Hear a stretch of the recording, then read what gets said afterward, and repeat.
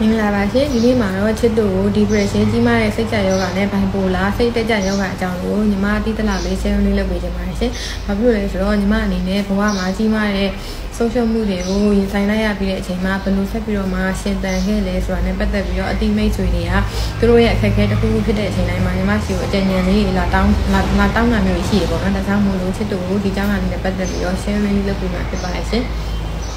ဒီ depression ကြီးမားတဲ့စိတ်ကြယောဂလက္ခဏာတွေကကြတော့သူကစိတ်အကြ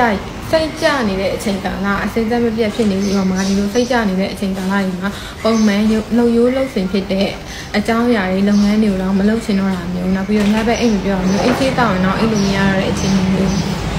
စားအစာကြီးမစားချင်တော့တာမျိုးပုံမှန်ထဲကိုကိုခန္ဓာဝိတ်စီကြတာမျိုးပြီးတော့ဒီကြွက်သားတွေနာကျင်ကြိုက်ခဲတာမျိုးခေါင်းကြိုက်တာမျိုးဖြစ်နိုင်ပြီးတော့လူတွေနဲ့မတွေ့ချင်တော့တာမျိုးဘသူ့ကိုပဲမြင်မြင်အကောင်းမမြင်တော့တာမျိုးပေါ့နော်တဆုံပြောက်ကကိုယ့်ကိုစေတနာနဲ့ပြောရင်တော့လက်မခံရင်တော့တာမျိုးကိုကိုကိုလည်းအကောင်းမမြင်တော့ဘဲနဲ့ငါတန်မှုမရှိတော့ဘူးငါဘာမှအသုံးမကျဘူးငါပြဿနာကြီးရှာတယ်စသဖြင့်ပေါ့နော်မကောင်းတဲ့အတွေးတွေပဲဝင်ပြီးတော့မှအချိန်ကာလကြာမြင့်စွာ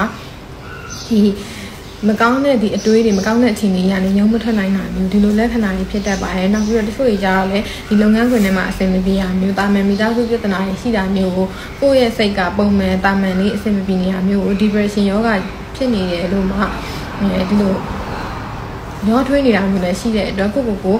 ကိုကတကယ်ပဲစိတ်အဆင်မပြေဖြစ်နေတာလားဒီ depression စိတ်ကြယောဂလက္ခဏာတွေဖြစ်နေရလားဆိုတော့ဘုတို့တိချာလေးပြန်လည်ဆက်ဆက်တဲ့မှာရှင်နောက်ပြီးတော့ဒီ bipolar ရောစိတ်သက်ကြ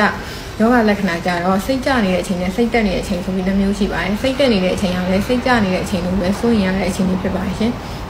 ဘာဖြစ်လို့လဲဆိုတော့ဒီလိုစိတ်တက်အရင်တက်နေတဲ့အချိန်မှာကိုလုံးမဲ့လုပ်ငန်းတစ်ခုခုအကြောင်းတွေးလိုက်တာနဲ့အရင်အလွန်အမင်းပျော်ရွှင်နေရမျိုးငါလုံနိုင်နေငါလုံရင်အောင်မြင်မှာဆိုပြီးတော့မှကိုကိုကိုဝင်မြင့်ပြီးတော့အရင်ပျော်နေတာမျိုးအဲခုံခုံပေါက်ချင်တဲ့စိတ်ခုံပေါက်ပြီးကပလိုက်ချင်တဲ့စိတ်တွေဖြစ်လာတာမျိုးနောက်ပြီးတော့ ကိုကအစားမစားမအိပ်ဖဲနဲ့အပြင်းထန်လေးချိန်ကနေလုံရင်တော့ပင်မနှွမ်းနေတာတွေမရှိတော့ပဲနဲ့အရန်ကိုလမ်းဆန်းတက်ကြွနေတာမျိုးပေါ့နော်ဒီလိုအခြေအနေတွေကလည်းအရန်ကြောက်ဖို့ကောင်းပြီးတော့မှကိုပစ္စည်းကိုတခြားတယောက်ကိုရှင်းချောရှူရှူပေးလိုက်တာမျိုးအရန်အကောင်းမြင်ပြီးတော့မှကိုကိုကိုဘုံမြင်မြင်နေတာမျိုးဒီလိုအခြေအနေတွေကကြောက်ဖို့ကောင်းပါတယ်ဘာဖြစ်လို့ကြောက်ဖို့ကောင်းတာလဲဆိုတော့စူဆိုင်လုပ်ဖို့တွေးလိုက်ရင်တော့ငါတေသွားရင်ပြောစရာကြီးငါတေပြီးရင်အရန်ပြောဖို့ကောင်းတော့မှငါနောက်ဘဝမှာ ဘယ်လိုဖြစ်မှာဆိုဒီလိုစသဖြင့်ပေါ့နော်မဟုတ်တဲ့မကောင်းတဲ့စိုးရင်ရမယ်ဆင်ရင်ရမယ်အတွေးတွေကိုတော့ပြောစရာလို့သတ်မှတ်ပြီးတော့မှစူဆိုင်လုပ်သွားတဲ့အချိန်တွေလည်းဖြစ်နိုင်တဲ့အတွက်ဒီလိုစိတ်သက်တက်နေတဲ့အချိန်ဆိုရင်လည်းကိုကိုကိုတတိထားပြီးတော့မှငါဘာလို့အလွန်အမင်းစိတ်တက်တက်နေရလဲငါဘလို့ဘာအကြောင်းအရာကြောင့်ဒီလောက်ပြောနေရလဲဆိုပြီးဆက်ဆက်တက်မှာဖြစ်စိတ်အဲ့လိုနဲ့မှ ဒေါသထွက်တဲ့အချိန်ကြီးဒေါသထွက်တဲ့စိတ်ကိုကူးပြောင်းသွားလို့ရှိရင်စိတ်တက်နေတဲ့အချိန်ကနေစိတ်ကျနေတဲ့အချိန်ချက်ချင်းပြောင်းလဲသွားနိုင်ပါတယ်အဲ့လိုပြောင်းလဲသွားမယ်ဆိုရင်တော့စိတ်ကျတဲ့အချိန်ကစိတ်တက်တဲ့အချိန်ကအချိန်3လလောက်ကိုကြာမြင့်နိုင်ပါတယ်ရှင်စိတ်ကျနေဘယ်လိုတွေဖြစ်နိုင်လဲဆိုရင်အဲခုနလိုပေါ့နော်ကိုကိုကိုအကောင်းမမြင်တာမျိုးဘေးဘက်ဝင်းချင်းကိုအဆိုးမြင်တာမျိုးလူတွေနဲ့ကွဲထွက်ပြီးတော့မှနေနေတာမျိုးကိုကတန်မိုးမရှိတော့သူတို့ခံစားရတာမျိုးဘယ်သူနဲ့မှစကားမပြောချင်တော့တာမျိုးတိတ်တိတ်လေးပေါ့ ကြောက်ခဲနေချင်တာမျိုးအစားမစားချင်တာမျိုးလူလိုပြဿနာရှာချင်တာမျိုးပြီးရင်ခဏမငြိမ်တာအဲစကားကိုတောင်ပြောမြောက်ပြောပြောတာဟိုကလုံးမယ်ဒီကလုံးမယ်အဲ့လိုစိတ်ကူးလိုက်ဆောက်ပြောချင်တာကြီးပြောလိုက်ပေါ့နော်ဒီလိုအခြေအနေတွေဒီလိုလက္ခဏာတွေဖြစ်တတ်ပါတယ်ရှင်အဲ့အချိန်ကြာလို့ရှိရင်လည်းအဲတငယ်ချင်းမိတ်ဆွေတွေကပေါ့နော်အဲဒီတယောက်က စိတ်တက်ကြယောဂလက္ခဏာခံစားနေရလားသူက depression ယောဂလက္ခဏာခံစားနေရလားဆိုတာကိုကိုယ့်ရဲ့တကယ်ချင်းအသိမိတ်ဆွေတွေကိုတတိထားကြည့်ပြီးတော့မှပေါ့နော်အကောင်းဆုံးအကြံဉာဏ်လေးပေးတင်ပါတယ်အဆင်ပြေသွားမှာပါဆိုပြီးတော့နှစ်သိမ့်လိုက်ရုံနဲ့ရောသူတို့ကအဆင်မပြေသွားနိုင်တဲ့အတွက်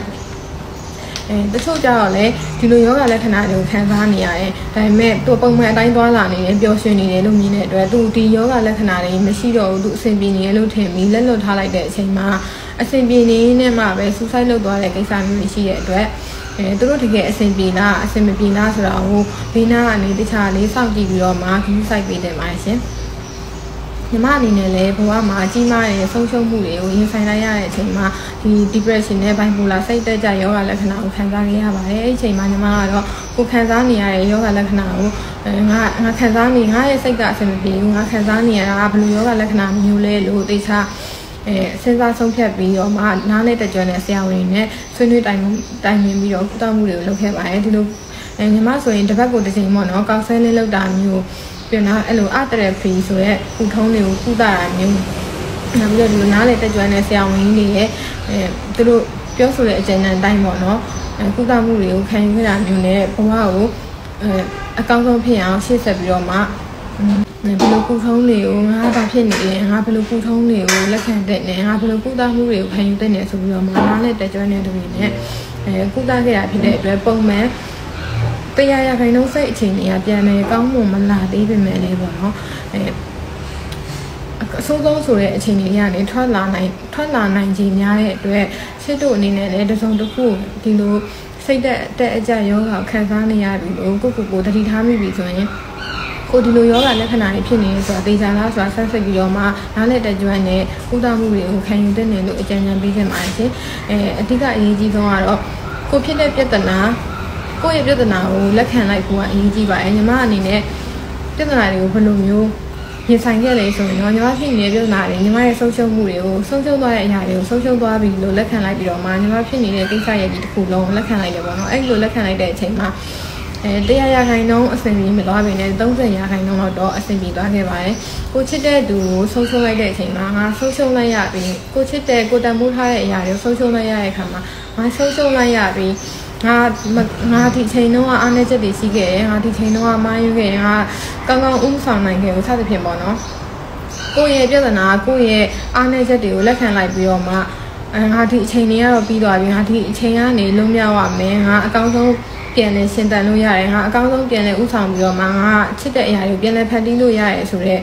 အဲစိတ်မျိုးကို